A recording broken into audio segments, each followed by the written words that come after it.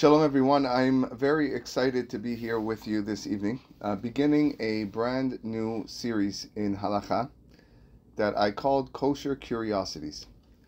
Kashrut, kosher, is a very large part of our life, our everyday living as a Jewish person. And there are so many questions that come up with regards to kashrut and kosher that I get asked all the time. And I felt it would be appropriate to give a class weekly, Bezrat Hashem, a short class online, 30 minutes, uh, to have everybody here, you know, learn a little bit about why we do certain things, and also remove certain misconceptions about kashrut that uh, that many are are unaware of. And I figured that through this medium we can attract and uh, attach ourselves to as many people as possible. And Bezrat Hashem, uh, we will learn lots going on from this point forward. I called it kosher curiosities because that's what it is. Uh, much of kashrut is a curiosity. Many times we do things that we don't even know why we're doing it, and a lot of people again have questions that they, they that they ask and they they do things by rote. And I think it's important to know the reasons behind certain things that we do, and to learn to learn as well. Uh, for that reason, I'm not just going to uh, speak ad hoc. I'm actually going to uh, read and learn from a sefer, from a book, uh, especially for our uh, Israeli or Hebrew-speaking audiences, that they can hear the words in Ivrit as well. I'm going to focus on the sefer called Peninei Halacha, which I am very fond and have taken a liking to. Um, Rabbi Eliezer Melamed is one of the uh, great poskim, one of the great halachic decisors of the generation. His set Peninei Halacha is the uh, most sold Hebrew Jewish set or Torah set in the world, and he has uh, again uh, he's a tremendous Talmid Chacham, and the information that he actually writes in his book often is is novel and very eye opening. Um, so Bezrat Hashem, I, I anticipate this uh, this class to take some time. There is no rush. Uh, we'll go through it in the winter time, uh, throughout the winter, and maybe even continue it as we get into the spring and the summer. Mirza Hashem. And again, short 30 minutes, Bezrat Hashem, to uh, gain more knowledge on this idea of kashrut. Uh, tonight, I actually would like to begin with the first topic, which I called tonight's class, Should I Be a Vegetarian? Vegetarianism or veganism, um, or they're, they're not exactly the same, but they're very close. It has kind of taken the world by storm. You know, you can see now vegan restaurants, um, vegan uh, buffets, you go to uh, you go to certain places and they have a vegan only section. Um, this is actually something that we're going to see was a thing once upon a time, and for many of us who are used to eating uh, meat and chicken um, throughout throughout the days of our week, especially on Shabbat and Yom Tov, uh, this actually has some application. Uh, because as we're going to see, once upon a time, this was not this was not the case. So without further ado, we're going to begin tonight's shiur, should I be a vegetarian? And we're going to read from the Sefer of Peninei Halacha.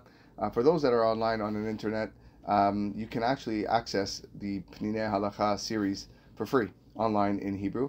And um, there are certain volumes of his that you can uh, you can find in English as well, translated in even Spanish and Russian. Uh, however, this one I believe this section on kashrut is only uh, until now only written in, in Hebrew. It has not been translated yet. Um, so let's begin. And Bezrat Hashem, uh, this will be, I think, part one of the vegetarian conversation that we're going to have. So let's look what he says over here, where in his uh, sefer called uh, Kashrut Aleph Hatzomech V'Achai, chapter Yudalit called Achilat Basar, which is the eating of meat, and part one of this chapter he calls Heter Achilat Basar, the permissiveness to eat meat. And he begins as follows: Mitechila, in the beginning, shel adam So he begins by saying that that right at the start of creation, that God's intent was for man only to eat from the tzomeach. Tzomeach is our, our, our leaves, our greenery that is tzomeach, that sprouts from the ground. That's all we were allowed to eat. And he quotes a pasuk in Parshat Bereshit, at the opening of the seven days of creation. Vayomer Elohim, God said, Hine natati lachem et kol esev zorea zera. That here, behold, I have given to you all the greenery that, that is planted. asher kol haaretz, that is throughout on the face of the earth, ve'et kol ha'etz asher bo etz, and all trees that have fruit, zorei azara lachem yeh leochla. That is for you to eat. So this pasuk clearly teaches us that at the start, when God created the world, what we were supposed to eat was only greens, was only vegetables, only things that grew from the ground or from or came from trees. Aval ba'alech hayim, animals, living things, ne'esru al ha'adam ba'achila. These were prohibited to be eaten uh, by us. This is quoting a Gemara in Masechet Sanhedrin. Bekatvu mefarshim, and the mefarshim, the commentators explained, shegam hachayot histapku az someach, velo tarfu zo etzu in the way back when, when Hashem created the animals, even the animals only were allowed to eat from the tzomeach, from that was which grows from the ground, and they did not attack or eat um, one another. That was not something that was that they did. Uh, as much as we see today in African safaris, and we see lions attacking and and cheetahs attacking and all these things, and eagles coming and and and uh, crouching on their prey. This was something that did not happen at the start of creation. So what happened? Ulam, he explains, Hachataim gavru, sins increased. Ve'ha'olam kulo hitkalkel, and the world began to self-destruct. Ze hitchil bechet'o shel Adam harishon. This began with the sin of Adam. Shebe'ito goresh migan eden v'nigzera mita alav ve'azaro, where he was kicked out of the Garden of Eden, and now, because of that sin, from eating from the tree, death had been uh, decreed on the world. Ve'af ha'adama nafla mimadregata. Even the earth itself fell from its high state. Ve'chela leotzi kot ve'dardar. And now the earth, which was only supposed to be given off, uh, giving off amazing, good, luscious fruits and vegetables, now is beginning to give off thorns and thistles. Achaonesh lo hovil leafakat lekachim. But the punishment did not lead to any type of musar lessons or something for us. What happened? Ratzach et Hevel achiv. Cain, which was Cain, which was Adam's son, killed his brother Hevel. Bedoros shel Enosh, in the generation of Enosh, nechdo shel Adam Arishon, the grandson of Adam, hechelu lachto ba'avodah zara. They started worshiping idols and committing idolatry. Ve'achar kach gabru achataim bagezel, ni'uf ve'retzach. And everybody else just sunk into sins of theft and adultery and murder. במקביל לחטאיהם של בני האדם, in parallel to these sins of mankind, גם טבען של החיות הפך לאטום ואכזרי יותר. Even the nature of the animals began, uh, began to be more opaque and more cruel. והן החלו לטרוף זו את זו, and they began to eat one another and attack one another. עד שנגזרה כליה כל בשר. At this point, Hashem decided that all living things need to be uh, need to be wiped out. Shnei Emar, as the pasuk says, "Vatishachet haaretz lifnei haElohim, vatimale haaretz Hamas." This is the beginning of Parashat Noach, where the land itself began to destroy or destroy itself, and the land was filled with robbery. Vayar Elohim et haaretz veinen nishchata. God looked at the land and he saw what was going on, and he couldn't believe it. Ki kol basar et because all flesh were uh, have sunk and be destroyed uh, to, the lowest levels. By Yomer Elohim Noach. This is when Hashem commanded Noach and said, "Ket kol basar ba lefanai, ki haaretz chamas mipenehem." The end of flesh and blood has come because of the Hamas, because of the cruelty and the robbery and the horrible things that the world has turned into. And now I am going to destroy the world. And then he commands Noach to build his ark. And Noach and his sons were the only ones to sur- to survive this. He explains, Rak Noach ubana bechol asher nitzlu mimeh hamabul. Only Noach and his sons and anybody that was in the teva, in the ark, were saved from this flood. Uksheyatzu mehateva hutla alehem hamesima livnot et yesod. Coming out of the ark after the flood, they were tasked to rebuild the world through the seven laws of Noah, Shehena Basis Lemusar Enoshi, which is the fundamental or the foundation of all human morality. And only after this system of proper ethics between man and his friend can be built properly. Only then can man continue that, that once upon a time relationship that they had with animals or other living creatures. לשם כך, because of this, היה צורך לקבוע גבול ברור בין האדם שנברא בצלם אלוהים לבין בעלי החיים. There needed to be a distinct separation, a boundary, a border between man, who was created in God's image, with animals or living creatures which were not created in God's image. Why is this so? כדי להדגיש את ייעודו ואחריותו של האדם, in order to express the purpose and responsibility of man, שרק עליו מוטלת המשימה לתקן את העולם ורוממו, because it's only on him, only on mankind, that has the task to repair and rectify the world and bring it up to its once elevated state. הביטוי המובהק לכך שלאחר המבור הוטל לבני אדם לאכול בשר בעלי חיים. What came as a result, as a consequence, is that man was now allowed to consume flesh, animals, toch azara chamura, but with that, through a very, very strict warning, adam Elohim, that man is not allowed to murder another man. So you could kill an animal in order to eat it, but you cannot kill another person. Shneimar, as the pasuk says again in Parshat Noach, Vayivarach Elohim et Noach vet banav, that God blessed Noach and his sons. Vayomer lahem, and he said, Peru urvu milu haaretz, be fruitful and multiply and fill the earth. Umorachem bechitchem yiheh akol kol hayat haaretz ve'al kol of hashamayim, and your fear will be upon all the birds of the earth. B'chol asher timosa adama, anyone that's, that crawls throughout the land. Uv'chol dege hayam b'yetchem nitanu, and all the fish of the sea. Kol remes asher hucha yeh lachem le'ochla, again, any remes, any uh, creeping uh, crawler uh, you can eat. כירק עשב נתתי לכם את כל, just like the vegetation, I give you all. ואך את דמכם לנפשותיכם אדרוש, שופך דם האדם, באדם דמו יישפך, כי בצלם אלוהים עשה את האדם. The only thing that you have to take care of is not to kill or draw the blood of a fellow human being, because כי בצלם אלוהים עשה את האדם, this human being is created in the image of Hashem. צריך להוסיף, he writes that I must add the following point, שבעקבות חטאי האדם הראשון והדורות שקדמו למבול, that as a result of the sins of Adam and all the generations uh, that uh, that preceded the flood, marachot hateva hitmotetu, all na- uh, nature and the way nature was supposed to be, the stages of nature collapsed.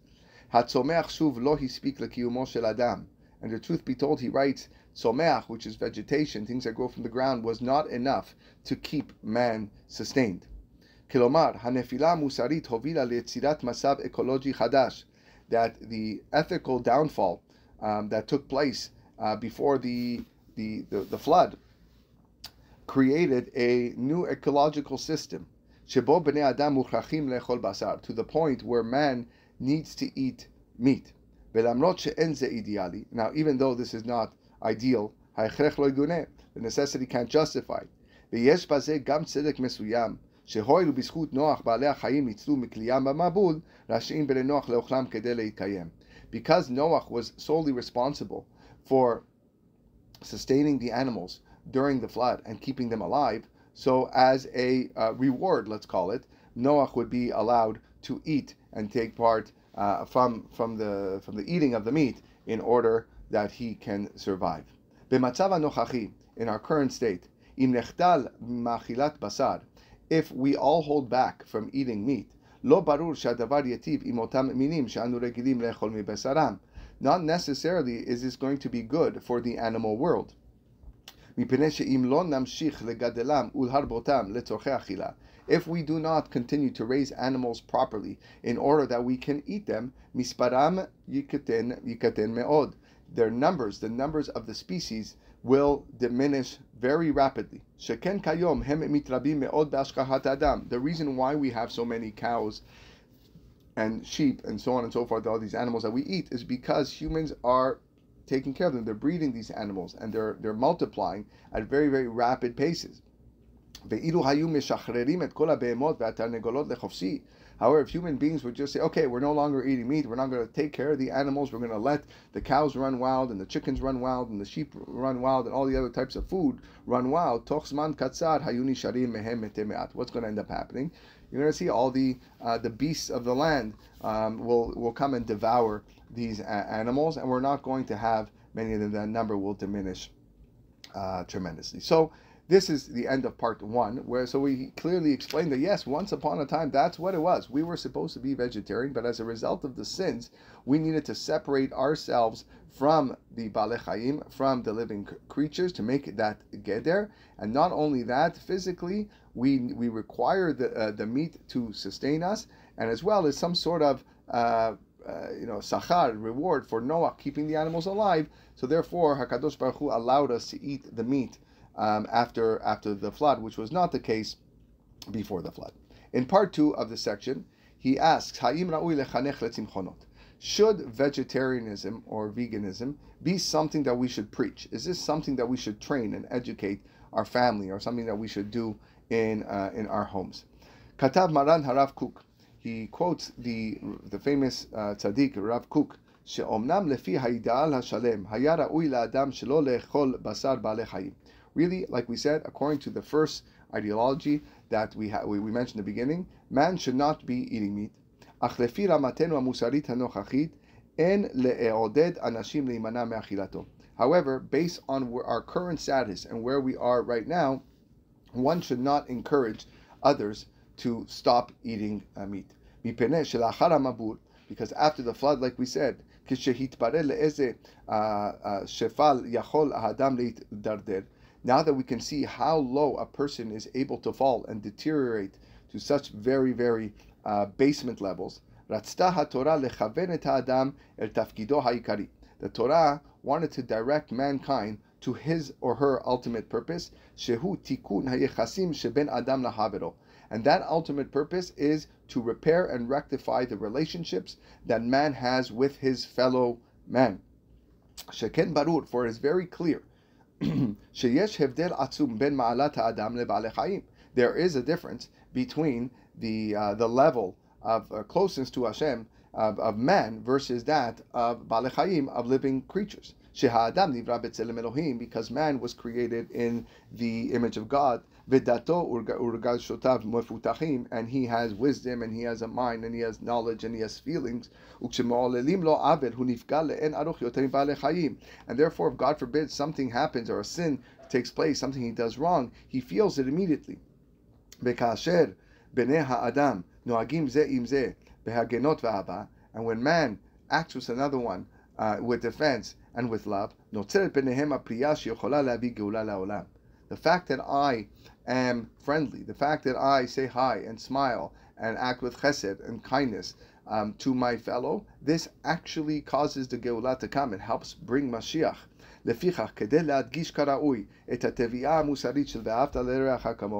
Therefore, in order to express this main idea of the mitzvah that you should love your friend like yourself, and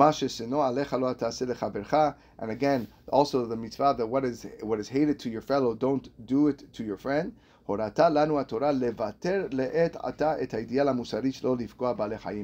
Torah is telling us you can push this idea aside, the idea of, of refraining from eating meat, and focus on your connection between man and his friend. Says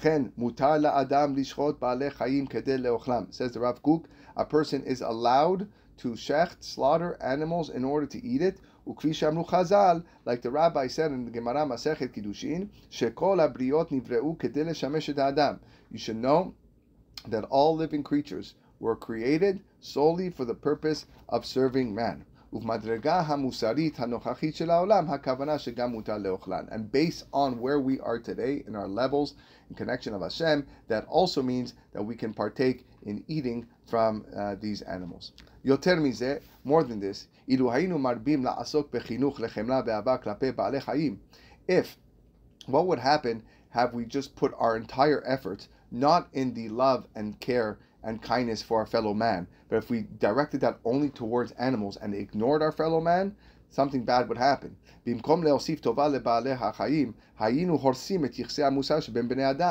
You would be destroying uh, any type of relationship between your, your fellow man because all you care about are, are living creatures.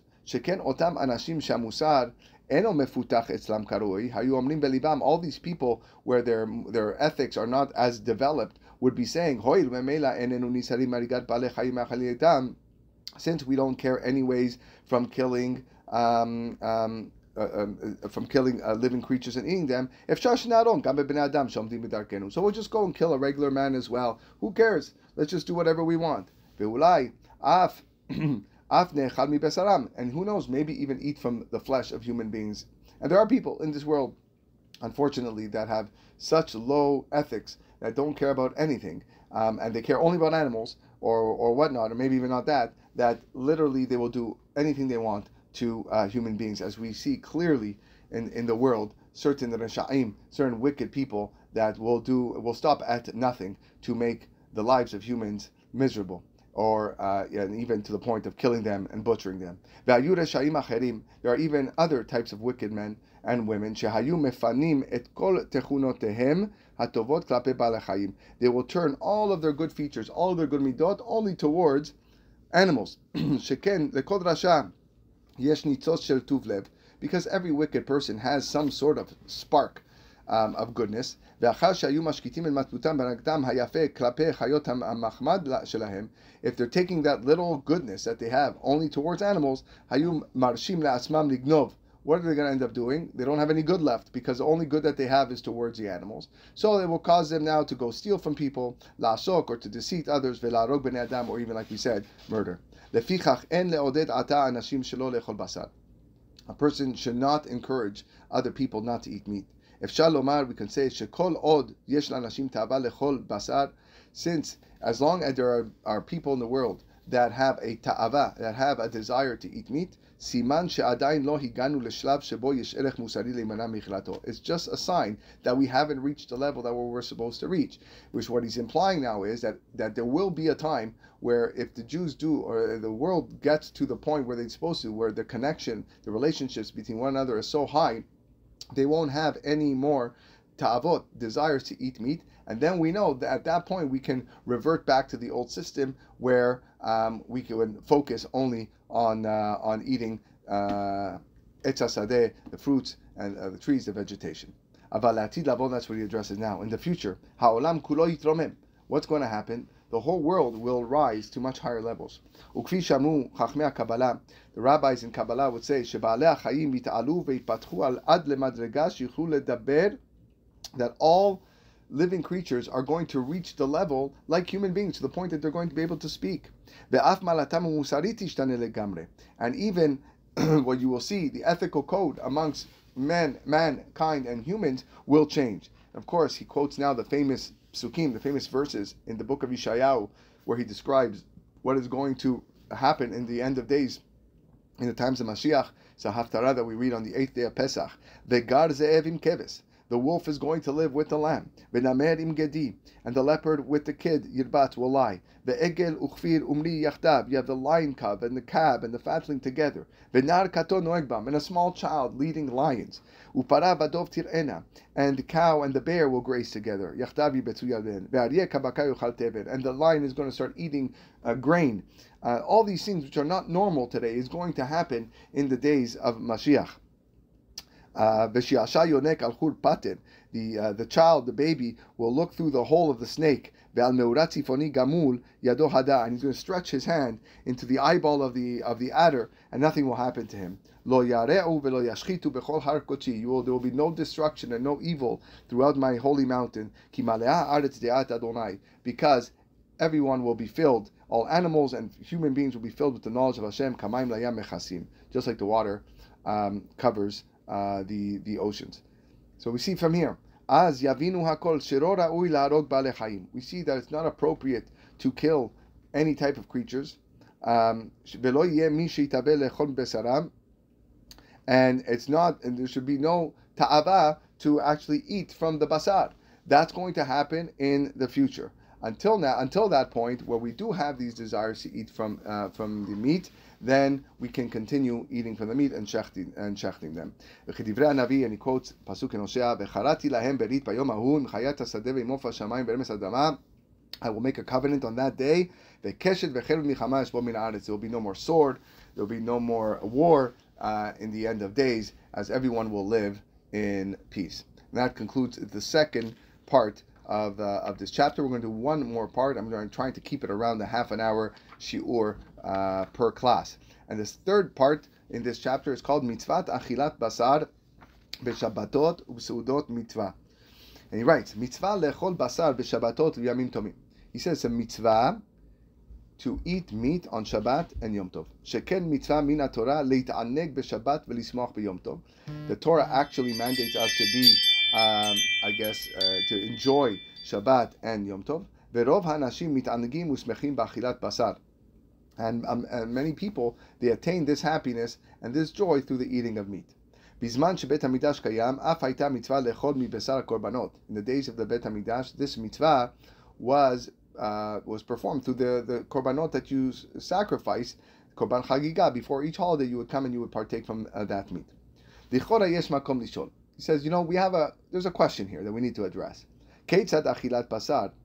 How is it possible that the eating of meat she'aita asura al pi rishoni, which we just spent the last 20 minutes talking about how this was something that was prohibited at the start of creation. How could that have turned to a mitzvah? The simple answer is since again our ethical conduct has changed over the millennium. There is no ethical problem of eating meat nowadays. And now that we have a, a commandment to be sameach, to be happy, uh, to, uh, on Shabbat and Yom Tov, achilat basar mesamachat, and eating meat brings that happiness. Memela mitzvah leochlo. Therefore, we have a mitzvah to eat it on Shabbat and Yom Tov. Hosifu Kabbalah uberu. The the rabbi, the kabbalistic rabbis uh, added and explained. Given our, our current circumstances, we have a there's a value in eating meat. Because of our sins, or the original sin from Adam Arishon, the world descended from its ma'ala, from its high level. הדומם, הצומח, החי והמדבר, כולם נפלו ממדרגתם וגם נתערב בהם רע. Now they get a little bit, he gets a little bit deep here. He says there are four, um, you know, types of um, elements in uh, not in the creation, but there's domem. Domem are the stationary objects such as a rock. Tzomeach. Tzomeach are, uh, like we said, gr- greenery and things that grow from the ground. Chai. Chai is one step higher, which is the living creatures that are alive and the highest creature is the medaber, which is the human being that is able to talk. And all of them have fallen from their original state to uh, to lower levels as a result of that sin of Adam Harishon.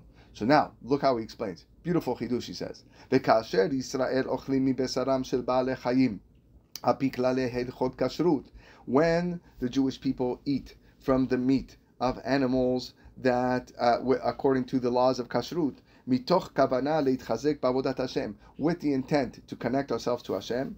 Hara shebabasar nifrad me'atov. Anything that was evil, that was ra in the meat, gets separated. Kipsolet, and gets like thrown away.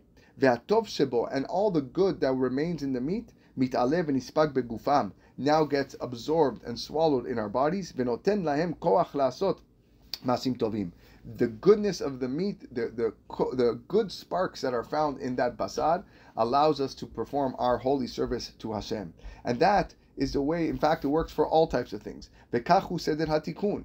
Hatzomeach mezono min hadomem. The vegetation, what grows, is able to draw out its sustenance from the domem, from the stationary. And that elevates the domem, the stationary, to the level of the tzomeach. And when the animal eats from the vegetation, that elevates the tzomeach, the vegetation, to the level of chai, of living creatures. And when people eat from the animals, and thereby clinging to God, that now that meat elevates itself to the level of of uh, medaber, of a man, of a mankind. And through that ladder, the food actually allows us to go one high, one step at a time higher. ובמיוחד נעשה תיקון באכילת בשר בסעודת שבת ויום טוב ושאר סעודות מצווה כשמחת חתונה וברית. He goes, you should know most specifically when is it that we have this concept of raising the meat to the level of the medaber, to the level of mankind, specifically on the seudot of Shabbat and on Yom Tov and all other seudot mitzvot, such, such as a brit milah or a wedding. שאז הבשר נעשה שותף לשמחה של המצווה ומסייע בקיומה. because the meat itself takes part, there's a partnership now in that simcha shel mitzvah and helps it uh, uh, keep it sustained. And that's why it's so important. You go to these um, you go to these functions and these smachot of weddings and brit milah and Shabbat. It's so important to have basar, to have meat as to mesameach a person, but more than that, you're elevating its stature. Aval reshut. However, stama seuda, like your Sunday barbecue um, in your backyard or birthday party bash. Uh, Amru chachmei Kabbalah, the rabbis, uh, the Kabbalistic uh, chachamim said, "Shelo tamid tikun." That doesn't necessarily rectify anything by you having meat during those times. Sheken im ha'adam eno minaheg achar karaui, because if a person is not behaving the way he's supposed to when he's having that meat at these birthday parties and barbecues, and therefore the, the meat you're having is not taking part, not having any partnership in its uh, elevation process. Lachen, ישנם חסידים שנמנעים מאכילת בשר בסעודות רשות. You will find many pious individuals who will choose not to eat meat uh, when it's not a seudat mitzvah, meaning when they go, they, they, won't go to a barbecue, or they'll go to a barbecue and they'll have salads, or they'll have uh, French fries, or something like that, but they won't partake in meat because being that it's not a seudat mitzvah, they will not elevate uh, any of that meat to its level.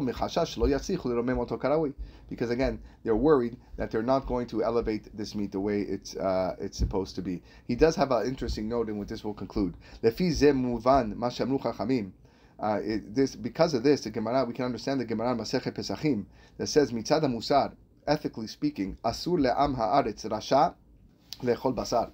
The Gemara says that it's prohibited for an uh, uh, ignoramus, uh, evil, wicked person to eat meat. That's what Gemara says. Why is it so? Because since this wicked person has no Torah and he has no good deeds, uh, and he hates rabbinical scholars or any people that are close to God, and who he has no part whatsoever in uplifting this uh, this meat to the level where it's uh, supposed to be. Umadua Why should we then? Why should this person have an animal killed and slaughtered for him to eat when there is nothing spiritual happening to uh, to this meat? Aval Shabbat. However, when it comes to Shabbat, different. Gam ameh haaretz she'ochlim basar mitzvah. Even if you have an ignoramus and he eats meat on Shabbat, he is fulfilling a mitzvah.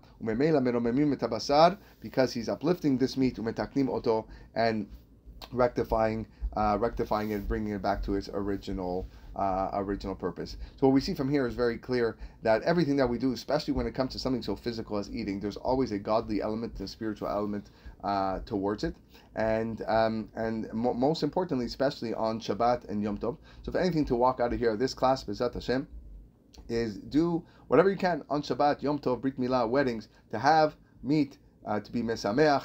Uh, the, the the day brings you brings you you simcha, um, and and it doesn't have to be a lot. A person does not like meat for whatever reason, uh, and but but he doesn't mind eating it, so just take a little bit, just have a again a little fork of, of some meat in order to fulfill this concept, because you are doing much more uh, than uh, than just satiating yourself you are taking the good of this meat and bringing it up to the original levels that it uh, it was meant to be. Thank you everybody for uh, joining us tonight. I'm uh, I'm happy you were here. I hope you enjoyed it. Bezrat Hashem, we're not done this this chapter with regards to uh, vegetarianism. We have a few parts left, which are Bezrat Hashem we will uh, complete next uh, week. Wishing everyone a wonderful night. Be well.